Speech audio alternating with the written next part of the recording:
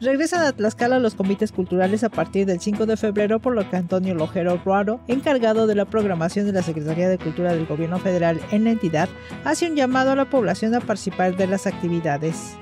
Continuaremos con el convite Baile, Comunidad y Convivencia, en el que, eh, bueno, es un convite cultural con el formato de, cultura comunitaria sumamente interesante, donde los asistentes comparten experiencias, comparten su sentir y desde luego en este caso también aprenderemos, aprenderemos distintos ritmos y pasos y producción dirigidos a la danza folclórica porque este convite en específico está realizado en coordinación con la Escuela del Ballet Nacional de México de Amalia Hernández una algarabía al compartir docentes y bailarines sus conocimientos, experiencia y pasos con los asistentes desde las 10 de la mañana y hasta las 12 del día en las instalaciones del Palacio de la Cultura.